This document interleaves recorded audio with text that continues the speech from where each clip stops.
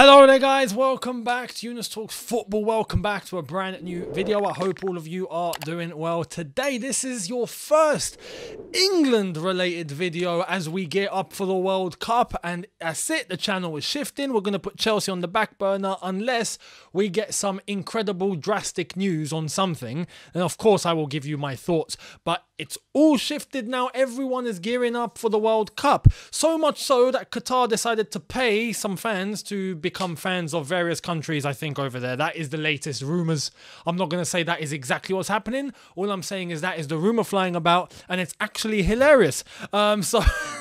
I thought I'd mention that because we've all seen the clips flying about. I mean, unbelievable. If that is the case, unbelievable. Anyway, before we get into today's nitty gritty, and I'm going to tell you my prediction on England and how I think they are going to do this World Cup. Just like we had an easy route um, when you look at previous tournaments, are we going to get another easy route now or is it going to be difficult? We'll get into that very shortly. Before I do, I want to let you know this video is brought to you and sponsored by the OneFootball app. Make sure you download the OneFootball app for all of your latest to do with this World Cup that's kicking off this Sunday. Qatar versus Ecuador. You'll be getting a preview to that on this channel. Yeah, I'm giving you all sorts of content when it comes to the World Cup, so you guys are going to enjoy that. But the One Football app is where you get all your latest, your latest news, your latest squads, your latest uh, statistics, fixtures, results, group standings, whatever you need. Plus, remember, if you are based in the UK or Ireland, you get access to Italian Serie A by watching an Italian Serie A match per match day and you get access to highlights as well. So make sure you check out the One Football app. Obviously, once the season resumes, you, are going to get Italian Serie A. But in the meantime, World Cup glory on the One Football app. Download it now and enjoy. Let's get into this. England, England. I've not given my thoughts on England yet. I've not given you my thoughts on the squad, what I think. I'll tell you what, I'm, I'm a little bit. Uh, well, the squad is basically what you expect, but I'm actually shocked at a couple of decisions, right?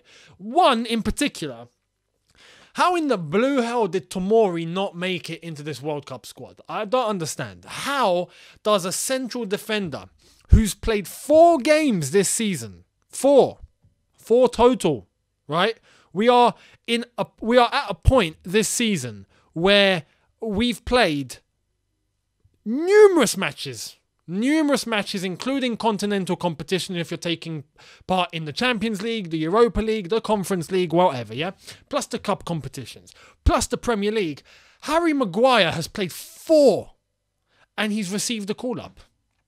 Tomori has been outstanding for AC Milan, won the Scudetto last season, absolutely flying, does not get into the squad. There is literally nothing more Fikayo Tomori could possibly do to get into this England squad. But because of someone's name on the back, you know, I'm Harry Maguire and I'm meant to be the captain, I get called up just because I get called up because I'm Harry Maguire. It's not good at all. It's not good at all. I, I, and I, again, I'm not surprised because it's Gareth Southgate. With all due respect, I'm not in favour of him being current England manager. Um, there's talk and there's rumours that Thomas Tuchel's interested after this World Cup. Please get it done. Get it done. At least we'll have someone that actually knows what to do in a knockout competition on a consistent basis based on players within a system that he knows works. England, this World Cup, I would love to see play with a back four, play attacking football. Why? Because England have the tools. If England didn't have the tools, I wouldn't be so stupid to say, let's just go all out and try and play expansive, fantastic, attacking, po- poetic football. I wouldn't ask for it. Be asking for us to be a little bit smarter, a little bit wiser. Let's try and defend where we have to. Let's try and hit on the counter attack if we've got a couple of outlets with a bit of pace. Um, if we're solid in midfield, defensively, physically, then yes, maybe we can focus on that as our strength. We've got so many ballers in this squad unleash them. Now we've got a couple of injuries in defence. I'm hoping Southgate is actually going to do that, but I don't think he's going to do that. So the fact that someone like Tomori's missed out, Harry Maguire gets in, shocks me. Not just that, we've had Tomori miss out. If I'm reading some names here, Tammy Abraham, I don't really think was in contention. Although when you look at the strikers that we've selected, we, we move, we move because there are other names. Marc Guehi, Ward Prowse, Ivan Toney. Now, Callum Wilson's been called up, and I'm all for that because Callum Wilson has been fantastic so far this season, especially at Newcastle. He's been class. So has Ivan Toney, though. But I can understand if you're torn between the two, you can't take both. Cool. On that, happy days. The rest of the squad basically picks itself. Um, Maddison has managed to get a call up, which is I'm I'm happy for him, and he deserves it. And it's actually quite outrageous that he had to be called upon towards the end because of injury, and James Maddison makes it into the squad. This season he's been fantastic. Is he going to play though? No.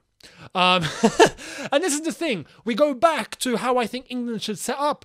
I well, not just me. We all know he's Gareth Southgate is going to go with three defenders.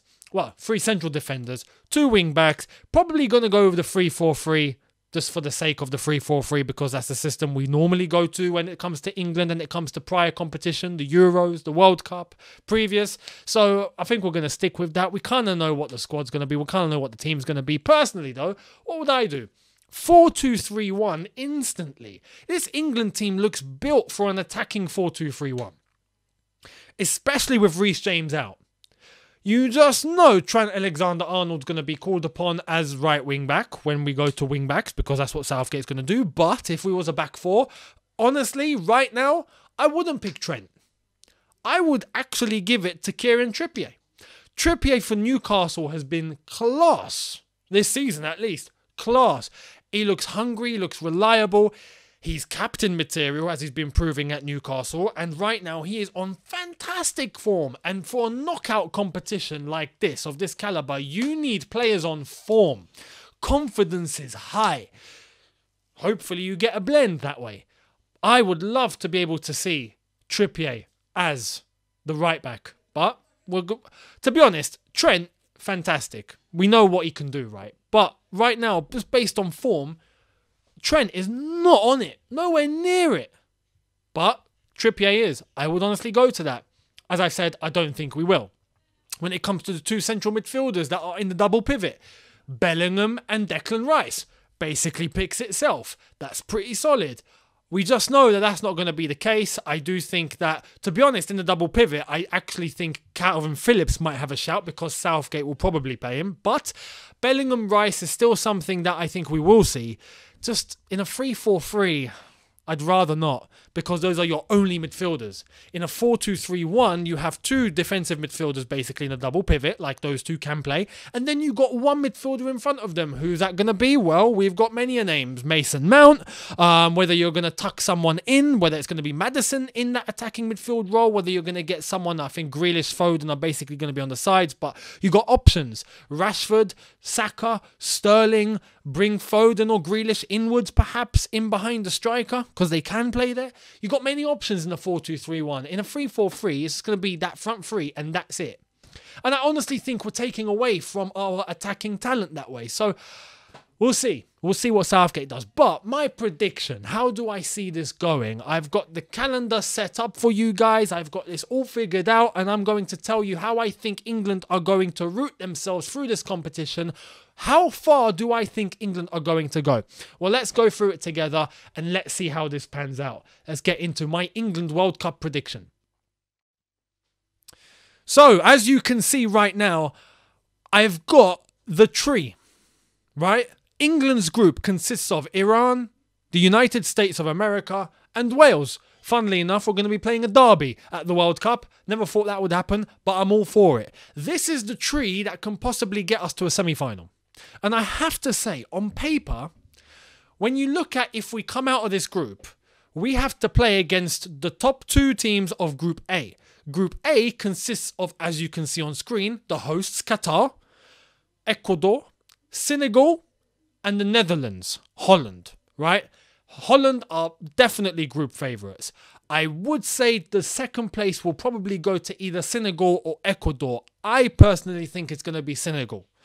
I've seen Senegal play. I know what they can do. They are deadly, right? When they want to be, they are deadly. When they've got fire and they've got they've got fitness, they've got the heat into their advantage as well because a lot of them are very very used to that sort of climate. Ecuador from South America, I think, will be as well. But in terms of footballing quality, I think Senegal are probably going to get that one step ahead. Sadio Mane is going to the World Cup, although I think he's going to be missing a game or two, but we'll see what happens. Holland, though, Louis Van Gaal's picked quite a, a, a, decent squad, right? And you're starting to see a lot of decent Dutch players come through. I mean, Frankie de Jong is a prime example of the sort of talent that Netherlands possess right now. They are definitely going to be there. Qatar are the hosts. Now, Qatar shouldn't be too underrated, although I just don't think they have enough, right? At home, the fans and whatnot, yes, it's going to help them. But I think they might score a few goals here and there. I don't think they're going to win a game, though. So, when you look at England, England, realistically, right, and I say realistically, we should be winning this group with ease. I think we'll beat Iran on the first match day. I think, well, I, I say I think we should be the United States, but you never know. And the United States are a progressive team now. They are progressing. They are starting to get bigger in the football world. They are starting to get some players that are starting to show what they can do. They are starting to get players playing some top leagues around the world. The USA team is leveling up. As I've said, though, realistically, we still should win that game.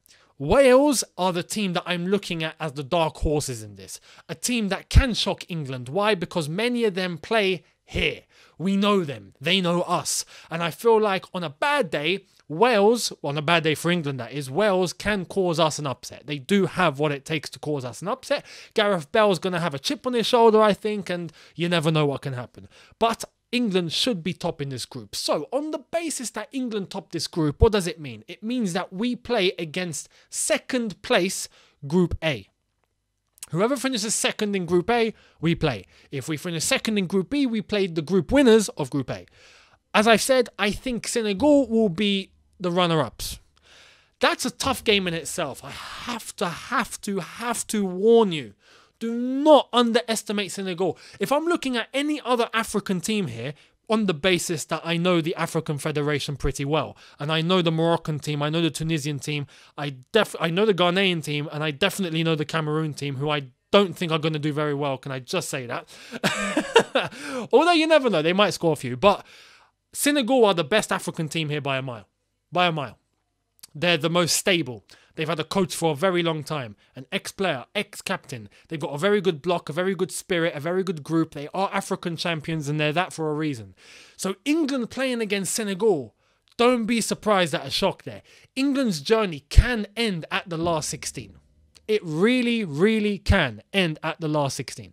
So, we'll have to wait and see how that is going to pan out. Later on, right? you start looking at the quarter-final, the semi-final. That route to the quarter-final looks pretty tasty. It looks pretty tasty. Can England actually get past the quarter-final? Can they reach a semi-final? When you look at the teams that are there, that would we would have to play against, I have to say, I'm pretty pretty optimistic when we get to a semi final, then you're talking about the Argentinians, Mexico, France. And even then, is that it? Is that it? France, I don't think I'm going to do very well. I do think that they're going to get knocked out pretty early, but I will give you my whole World Cup prediction video later. That's tomorrow. So, tomorrow, watch out for my whole World Cup prediction video. But England have, if they want it, a route to a semi final again just like 2018. And then we lost to Croatia, I'd say pretty stupidly. England just tired out and let in. I wouldn't say let in a stupid goal. Croatia played well that day, but England just, they died out. They died out. We can't have that happen again. But there is a route here to a semi final if England want to take it. But that is as far as I think England go. I don't see England making a final. I don't see England winning it. And even then, England have to be on form. I have this gut feeling that we're not going to do as well as we did in 2018. The squad isn't as harmonious as it was. There is pressure on Southgate. Everyone is kind of a bit Southgate in, Southgate out. There's a lot of people that want him gone. Personally, I'm not convinced. I do want him to go. I want Thomas Tuchel, or someone proper, proper to come in. So, as I've said, all bearing that in mind, which plays a part, I do see England reaching the quarterfinal and then getting eliminated. That is as far as I see it going. So that is my prediction. Let me know down below how you see it going down. But that is my England World Cup prediction. So there we are. Thank you all so much for watching. We'll see how it pans out. I will give you my entire World Cup prediction that is coming tomorrow, as I've already mentioned. So make sure you guys are here for that. And then Saturday, I give you my first preview to Qatar versus Ecuador. I might throw a couple of other games in that we have the day after, which is obviously going to be England and and and the rest um, happening that day. Senegal, if I'm not mistaken. There's four games that day, so I'll be dropping previews in the first part of the day and then I will be dropping reviews after all the games have been played that day. So that's going to be the schedule this World Cup on this channel. You're going to be getting a lot of double uploads. Make sure you guys are here for that. And I'll see all of you tomorrow for my big World Cup prediction video. Thank you all so much for watching. Hit the subscribe button if you are new. Hit the notification bell to be notified once I've uploaded. Smash like button if you've enjoyed this. And I will see all of you tomorrow. Have a good one, people. See you then. Take care and peace.